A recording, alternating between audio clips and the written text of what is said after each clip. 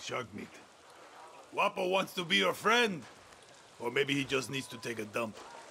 Only one way to find out.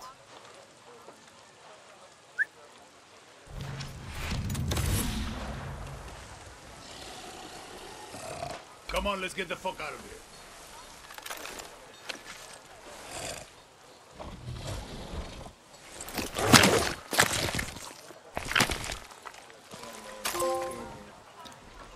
If you like the video, please consider subscribing to the channel, it shows me that you appreciate my work. Stay safe and as always, enjoy your hunt.